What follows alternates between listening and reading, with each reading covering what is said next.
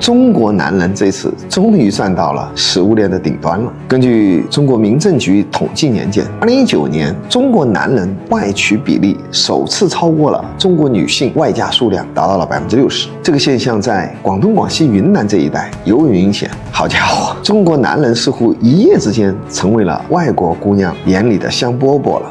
而与这个形成鲜明对比的是，中国女孩越来越不中意外国男人。二零零一年的时候，中国有七万多女性选择了嫁给老外，但是到了二零二零年，二十年过去，只剩下了七千人，二十年的时间缩水了百分之九十。各位，这是一个惊人的数字，因为它揭示了一个真相，就是经济发展的浪潮正在对国人的择偶进行了一次重新的分配和选择。过去我们有一个认知，就是在中国的婚恋市场上，我们会认为男性会找一个稍微比自己弱一点的女孩，而女孩呢会找一个稍微比自己强一点的男孩。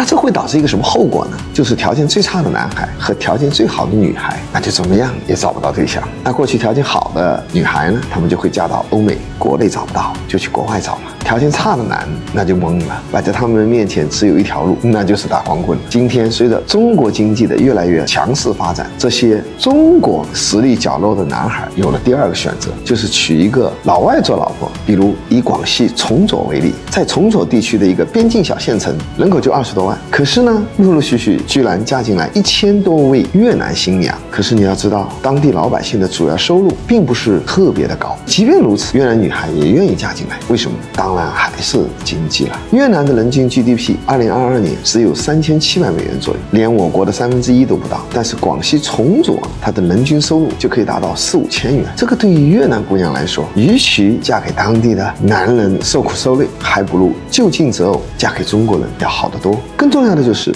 越南当地对于彩礼的要求并不是很高，也没有什么买房买车的这种强制要求，大部分国内家庭他都能够承担得起，也不必说为了娶个老婆要把自己弄得负债累累。其实这一幕早在二十年前就上演过，那会儿是反过来，是香港地区的男生到内地来找老婆。统计数据显示，从一九九八年开始，香港男性娶内地女性为妻的数量大幅提升，仅二零零六一年就有两点八万的香港。港男性娶了内地的女子，而那一年香港结婚人数总共才五万人，也就是说，香港男性的外娶比例已经超过了百分之五十。这个案例背后也是经济差异带来择偶权的重新分配。你要知道，在两千年前后，我们中国刚刚加入 WTO，内地薪资还是比较低的，而香港那会儿人均的薪资都已经过万了。听到这儿，可能会有人问了：哎，那为什么国内女生外嫁会越来越少呢？这是不是也是经济繁荣带来的呢？有人统计过，二零零一年是中国女性外嫁的高峰期，这一年有将近七万女人选择了外嫁。在这以后呢，这个数量开始逐年的下降。这说明啊，中国加入 WTO 是一个契机，借着这个契机，消化了一大批有外嫁意向的女性。很快，随着国内经济的发展，人均 GDP 的不断突破新高，很有意思的现象发生了，一部分女生开始打消了结婚的念头，成了不婚族；另一部分女生呢，对婚恋的要求呢也越来越高。最直观的表现就是。国内彩礼啊是水涨船高，上个世纪七十年代到九十年代还没有彩礼这个说法，可是那会儿结婚流行的是三钻一响，彩电啊、自行车啊、缝纫机这些东西，也没说要强制买房。但是进入了两千年，特别是二零一零年以后，各地呀彩礼就纷纷上涨。现在结婚二三十万的彩礼仿佛都是起步，还不包括什么喜宴呐、结婚呐、房车呀。这个条件，你别说国内男生有压力，国外男生也纷纷摇头。哎呀，娶不起呀，娶不起这些条件。但刨去经济上的因素，更重要的一点就是这些年随着中国与国际社会的接轨，中中国男性的画像正在被改变。过去大家可能觉得，